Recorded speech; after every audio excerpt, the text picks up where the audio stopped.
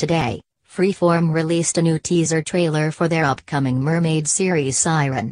The one hour drama has received a 10 episode order from the network.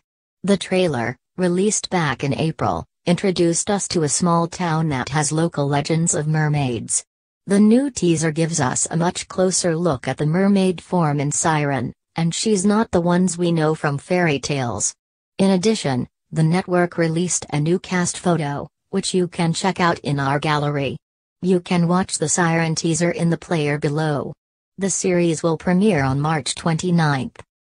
In the epic tale, the coastal town of Bristol Cove, known for its legend of once being home to mermaids, is turned upside down when a mysterious girl, Eline Powell, appears and begins wreaking havoc upon the small fishing town.